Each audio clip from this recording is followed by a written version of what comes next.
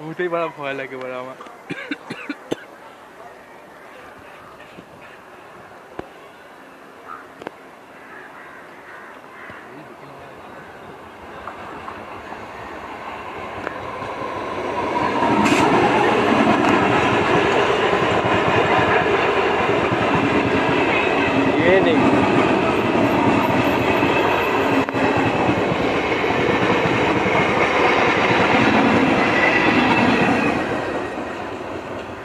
इनके जे